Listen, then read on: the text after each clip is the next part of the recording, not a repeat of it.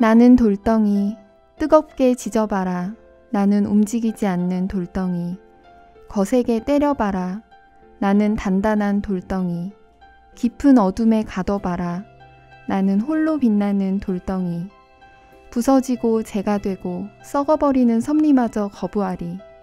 살아남은 나, 나는 다이아. 거세게 때려봐라. 나는 단단한 돌덩이. 깊은 어둠에 가둬봐라. 나는 홀로 빛나는 돌덩이.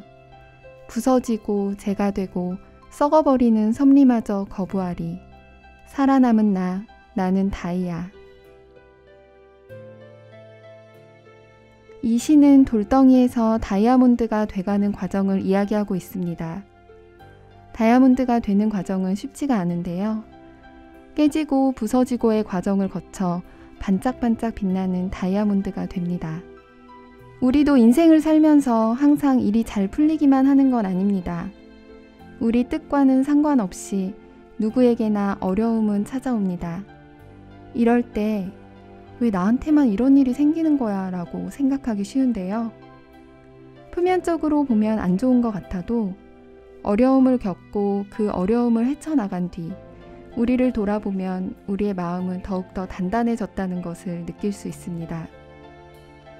만약 어려움 없이 그냥 일이 술술 잘 풀리기만 했다면 어려움을 만났을 때 이겨낼 마음의 힘이 없었겠죠. 다이아몬드는 돌덩이 안에 꼭꼭 숨어 있는데 일반인들이 보기엔 다이아몬드의 원석이 그저 돌덩어리에 불과합니다. 그러나 전문가의 눈은 다릅니다. 누군가에게는 그저 돌덩이지만 전문가에겐 세상에서 가장 값진 다이아몬드로 보이는 것이죠. 역시 누군가에겐 난 그냥 돌덩이로 보일 수 있습니다. 하지만 내 가치를 아는 사람에게는 다이아몬드가 될 수도 있습니다. 지금 내 상황이 너무 어렵고 힘들다고 느껴지시나요? 그건 돌덩이가 깎이고 깎이면서 다이아몬드가 돼가는 과정입니다. 다이아몬드가 되기 전까진 아무 쓸모없는 돌덩이일지 몰라도 돌덩이 안에서 나온 다이아몬드는 값비싼 보석이 됩니다. 지금 나에게 온 어려움은 돌덩이 안에 갇힌 내 인생의 다이아몬드가 조금씩 세상에 나올 수 있도록 도와주는 것이죠.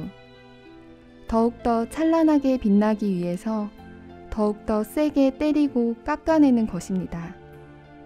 이 과정이 다 끝나면 당신은 세상에서 가장 아름다운 다이아몬드가 될 것입니다. 오늘의 뷰티풀 마인드였습니다.